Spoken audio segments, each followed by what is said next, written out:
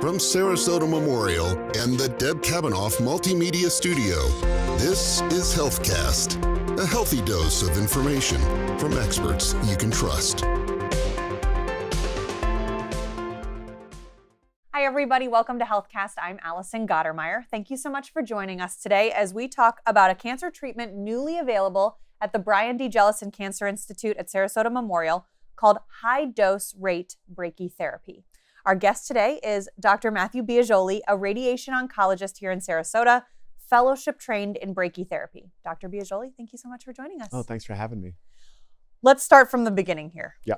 What exactly is brachytherapy and how does it differ from external radiation? Yeah, I mean, I think when you think about radiation treatment, specifically for cancer, there's kind of like three main modalities.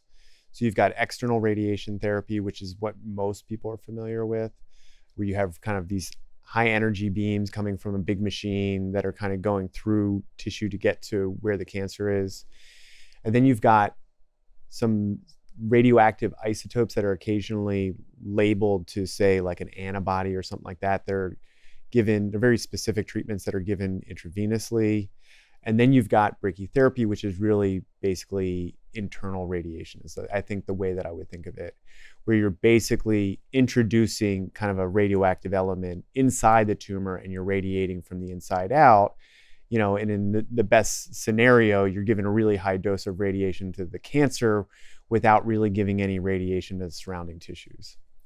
So, how does high dose rate differ from previous brachytherapy techniques used? Yeah, so the original form of brachytherapy was something called low dose rate. And, and what they're talking about is it's still a radioactive element that's delivering that radiation dose. With low dose rate, the radiation is given over the course of usually days to months. And so like a classic example of that would be, you know, prostate seed implant where they place these radioactive pellets into the prostate, and then the radiation might be delivered over the course of really, you know, depending on the isotope, up to nine months. You know, with high dose rate, you're usually introducing a catheter, or you think of it almost like a needle that's being inserted into the tumor. And then the radioactive source goes inside the catheter. It delivers a high dose of radiation, usually over the course of a few minutes and then it comes out you take the catheter out and nothing's actually permanently left inside of the the, the person or the, the cancer itself. So you mentioned prostate cancer there but what types of cancer um, patients are candidates for yeah, no, that, therapy that's an excellent question. So primary like the the majority of patients treated with with brachytherapy are typically prostate cancer gyn cancers both cervical and endometrial cancer breast cancer and skin cancers. And then there's some um, not there's some more specific treatments that are not that are not done as commonly, which include you know for certain brain cancers, for uh, liver cancer, for in Europe they do it for in in some places they do it for bladder cancer, um, but it can be used just about anywhere, but primarily, at least in the U.S., it's the focus has been on prostate, GYN cancers, skin, and breast. And are there different criteria used for this high dose rate brachytherapy? Yeah, I mean, I think it's really not so much like patient characteristics that would determine someone that would get low dose rate versus high dose rate, but think of it more of like an evolution of the technology where, you know, low dose rate was kind of the original form of brachytherapy that was introduced and it still has a role to play in today's um, healthcare market, albeit smaller. High dose rate is kind of like generation two of brachytherapy, um, where it, it allows for some much more sophisticated imaging that allows us to kind of cater those treatments more specifically to those patients. So you mentioned that it's most commonly used with prostate cancer and those GYN cancers. Let's start with prostate brachytherapy first. Why might this be a preferred treatment for a patient with prostate cancer? So there's really kind of two different patient populations that might benefit from brachytherapy um, in terms of prostate cancer patients. So the first are those patients that might have, um, you know, a less aggressive type of cancer, um, where you're looking at really primarily like a more localized treatment. Um, and so those patients might be a good candidate for either external radiation brachytherapy or surgery. Um, and it's really more of a function of, you know, what are the side effect profiles um, that you know that that would that a patient might feel comfortable with, because you know the side effects and possible complications with surgery are very different than what they would be for brachytherapy and and what they would be for external radiation. Um, but the outcomes are all the same. So you could undergo a major surgery versus you know go through what might be 28 to 40 external radiation treatments versus go through one or two internal radiation treatments. Um, the other patient population that that we know benefits from it are those patients that have more aggressive tumors where they're typically classified as high risk cancer patients.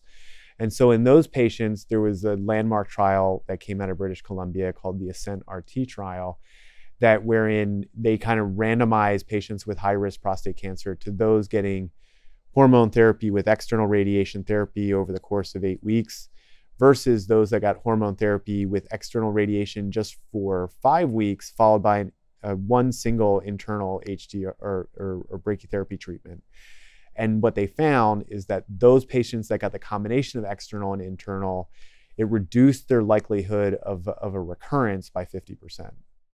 So you mentioned there are different side effects to brachytherapy or, or, or different things that someone might take into account if they're going to choose brachytherapy over surgery or another treatment option. Um, what are those? What what are there additional side effects or what are the side effects you discuss with patients? Yeah, so for patients that are looking at just getting HDR brachytherapy alone for their prostate cancer, um, the way that that procedure is done is basically, you know, we put the patients to sleep, we you know we through the skin introduce these catheters into the prostate usually under ultrasound guidance although it can be done under ct guidance as well. Um, and then they use some fancy software that essentially j- figures out where the radiation needs to go inside each one of those catheters to treat the cancer and avoid giving radiation treatment to you know the, the organs that might be in close proximity. In this case it's the bladder and the rectum. Um, and then that treatment is delivered usually over the course of about five minutes. Those catheters are removed. You know, the patient the patient's woken up. We make sure they're urinating okay, and they go home.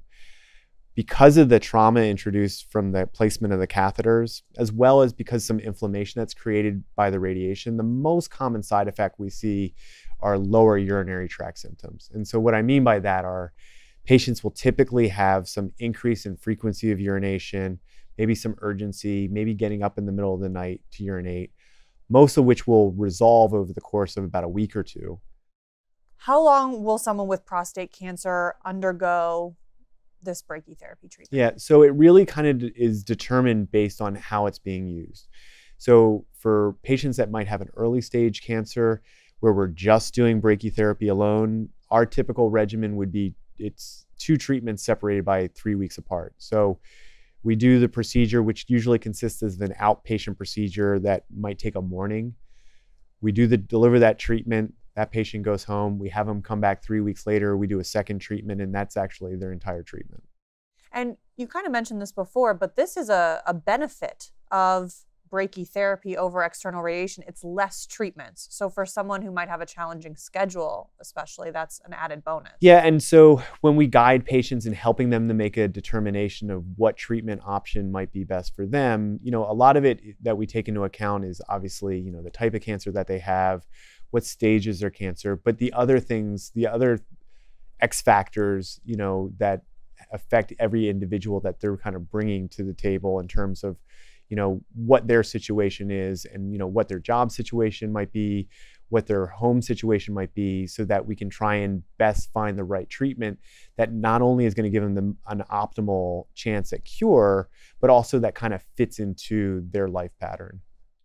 So we spoke a little bit about prostate cancer patients who may use brachytherapy. Let's also talk about some of those gyn cancers. How can brachytherapy help those patients? Yeah, so there are really two primary populations within the GYN cancers that benefit from brachytherapy. The first is endometrial cancers. And so the primary treatment for endometrial cancer is still surgery. However, we then kind of do an assessment, you know, usually based on the pathology from that surgical specimen to determine what's the risk this patient has of developing a distant recurrence or developing a local recurrence. You know, for those patients that have a high enough risk for a local recurrence, they're they're typically offered radiation therapy to the pelvis in order to reduce that risk. Historically, that had always been external beam radiation therapy, but then there was a series of studies that were done that essentially showed that if you do brachytherapy in three to four treatments, that that where you're just treating basically the top of the vaginal cuff, that is equivalent to reducing that risk of a local recurrence as giving external radiation, which you know might consist of, of giving external radiation to the entire pelvis over the course of five weeks. So you kind of mentioned there how many treatments, but how long would someone with a GYN cancer Yeah. typically undergo? So in that scenario where you're treating for end- you're treating postoperatively for endometrial cancer, those patients typically are treated in three to four treatments, usually over the course of about two weeks. The other cancer um, that it's that brachytherapy is commonly used, that's an, a GYN malignancy, is cervical cancer. So in cervical cancer, it's a little different. So in patients that have locally advanced cancers, typically they're not treated with surgery, they're treated with chemo and radiation therapy together. And so those patients would usually receive five weeks of external radiation where they're treating their tumor and they're treating the lymph nodes that are at risk. Um, and that's done usually with weekly chemo. And that's followed by typically three to five sessions of brachytherapy where the radiation is just delivered to the tumor within the cervix itself. Um, there are a lot of benefits to doing that kind of a treatment regimen. Um, there have been a few studies that have come out that have looked at when you exclude doing brachytherapy and you try to just give chemo and radiation therapy, meaning external beam radiation therapy together. And what they've found is that those patients' survival is decreased by approximately 10% versus those patients that get a package treatment that includes external radiation plus brachytherapy itself.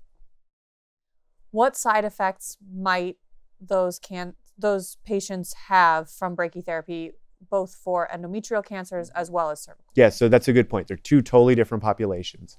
So those patients that are getting brachytherapy for endometrial cancer, you know, we're typically just treating a very small area at the very top of the vaginal cuff, kind of where the uterus used to be attached to the vagina. Um, and, and so those patients have very minimal side effects. Usually, less than 10% of patients might notice some loosening of their stool for a few days to a week, or maybe they notice some minor urinary irritations. But again, that probably represents about less than 10% of the, of the patient population. Probably 80 to 90% of the patient population that undergoes that treatment really has minimal to no side effects. It's very different than when you compare that to the patients that we're treating for cervical cancer. Those patients have just gone through five weeks of chemotherapy and external beam radiation therapy. And so they're already kind of coming to the table with some urinary symptoms, for sure, probably some rectal symptoms, usually in the form of diarrhea. Um, when we do the brachytherapy, because it's such a localized treatment, um, it's not contributing very much to those existing symptoms, but it may protract those symptoms by another week. There are a lot of misconceptions um, when you hear even just the word radiation.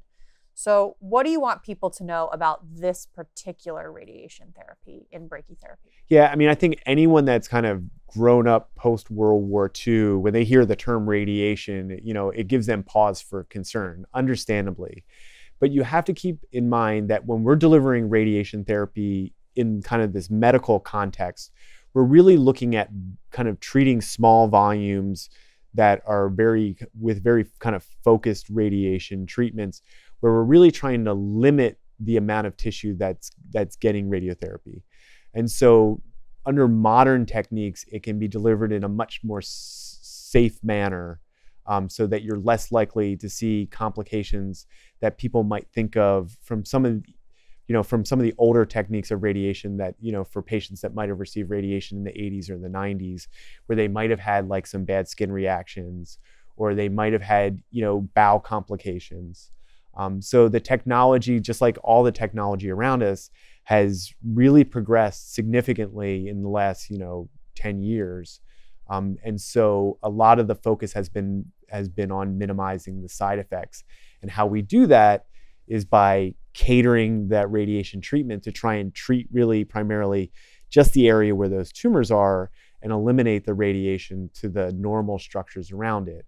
Brachytherapy just happens to be kind of one of the tools in our tool belt that we can pull out that's you know is kind of an elegant treatment when done correctly because you're delivering the radiation from the inside out that allows you to give a high dose of radiation to the cancer with really not giving much if any radiation to the surrounding organs. So there are some types of radiation therapy that results in the patient not being able to be around loved ones or friends or family for some time after treatment. That's not the case with this high dose rate brachytherapy. Yeah, so you bring up an excellent point. So you can think back to the example that we used before, which is the treatment of prostate cancer. So kind of the the historical way that was done is they would take these permanent seeds that were radioactive and implant them into the prostate. And those patients would be radioactive you know for three to nine months depending on the isotope that they use. So there's precautions that they have to take around their loved one especially around grandkids or children or small animals. In this case when we're doing high dose rate brachytherapy you know the source or the radioactive element is usually only in the patient for a few minutes.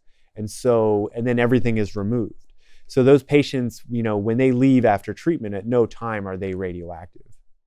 How long is recovery time though after someone receives this brachytherapy? Yeah, I mean, again, it, it depends on the it depends on the area that we're treating um, and the type of cancer that they have and the type of treatments that they may have had preceding the brachytherapy.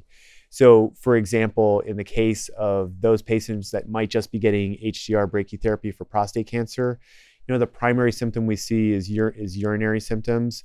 Most of that will go away within the first two weeks. Usually within four to six weeks, those patients are completely recovered. You know, in the case of cervical cancer, you know, those patients have gotten a bunch of external radiation. You know, their recovery time might look more like five to six weeks. And it's not necessarily because of the brachytherapy, but because of the compilation of treatments that they've had with the chemo, the external radiation and the internal radiation. So, if someone has recently been diagnosed with one of the cancers we've discussed and they think that they might be interested in this high dose rate brachytherapy, who should they speak to if they're interested in this as a potential treatment? Yeah, I mean, I think a good place to start is talking to a radiation oncologist. Um, not all community based radiation oncologists offer brachytherapy, or if they do offer it, it may not be, some of the treatments that they're able to offer may not be as sophisticated as many of the others. Because it is a resource dependent treatment, we tend to see that it's focused at larger hospitals or at academic centers. Um, but starting with your local radiation oncologist and asking them about it, and if they don't offer that treatment, you know, requesting a referral is a good place to start. And that brings us to a good point. I mean, why is it so important to have a resource like the Brian D. Jellison Cancer Institute, which has these therapies available at a community hospital right in the community close to home? Yeah. So, you know, cancer therapy over the last 40 years has, you know, really evolved and it's gone from going to see maybe one doctor who might have been a surgeon or might have been an oncologist to now it, it's become really what we would call a team sport, you know, where the best outcomes come from those patients that benefit from discussion of their treatments ahead of time with the surgeon, with the medical oncologist, with radiation oncologists, with the pathologists, and with the radiologists, so that all the doctors can kind of come together and create a game plan.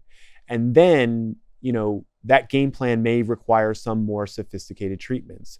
So, you know, we're kind of fortunate here where we've got a lot of treatments, you know, under the sun that we can offer those patients that may not necessarily be available at all community centers just because either the sophistication that's required in delivering the treatment, either from physician training or equipment, or just the resource dependence that it may require in terms of having a whole team you know, that can involve nurses and involve technicians as well. Is there anything else you want the community to know about this high dose rate brachytherapy that we're now offering at Sarasota Memorial? Yeah, I mean, I it's the important thing is that it can be a very effective treatment, but in the appropriate patient population. And so patient selection is, is of utmost importance. And so finding, you know, if this is a type of treatment that you're interested in, it's really important not only that you find a, a physician you know that that is comfortable with the procedure but someone that has a fair that has the re- appropriate training and does a fair amount of volume. Because it's think of it just like a surgeon. You know you would you don't want to be you don't want to go and get an operation from a surgeon that's only done two or three of these operations a year. You want to go to someone that's doing a hundred of these operations a year. And so the same thing could be said for brachytherapy that you know you in order to get excellent outcomes, you want to go to someone that does a lot of these procedures and is familiar, you know, and has a lot of familiarity, not only with how the procedure is done, but how it's done really well and how to manage those side effects if they do arise, um, so that patients don't really have any complications associated with the treatment.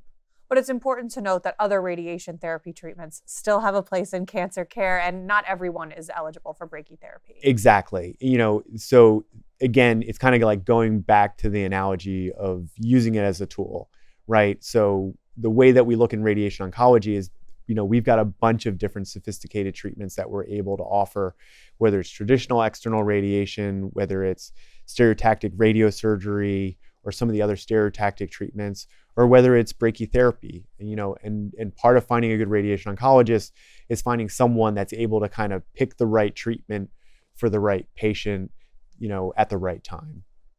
Dr. Biagioli, thank you so much for joining us today and for sharing all this information. As always, we encourage everyone in the community to visit smh.com to get the latest information from Sarasota Memorial. Have a great day.